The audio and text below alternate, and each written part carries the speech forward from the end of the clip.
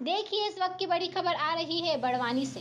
Spirit के ड्रमों से भरा ट्रक जब्त। अठारह लाख रुपए के चौहत्तर ड्रम स्प्रिट जब्त। ट्रक क्रमांक एम एच चार एक ए यू शून्य दो, तीन आठ भी किया गया जब्त।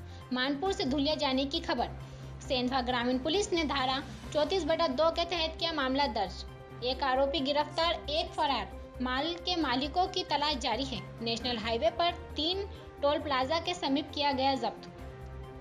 आपको बता दें कि थाना प्रभारी ग्रामीण थाना सेंधवा विश्वजीत सिंह परिहर ने बताया कि कुल जब्त चौहत्तर ड्रमों में बीस हज़ार चार सौ इक्यानवे लीटर स्पीड भरा जाना पाया गया है, जिसकी लगभग अनुमानित कीमत 25 लाख है वही जब्त शुदा ट्रक की कीमत लगभग 20 लाख। इस तरह कुल जब तमाल मशरूका की कीमत 45 लाख आकी गई है। वही मामले में सतीश पिता भिकन ठाकुर उम्र 30 साल साकिन सिरपुर को पकड़ा गया है।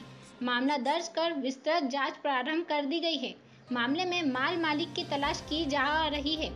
जल्द ही उचित कार्रवाई की जाएगी।